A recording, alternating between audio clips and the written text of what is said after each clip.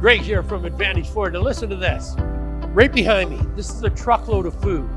This one's on its way to the food bank today. This will be our third truckload of food to the food bank in the last three weeks. We're going to do one truckload a week from now till the end of the year.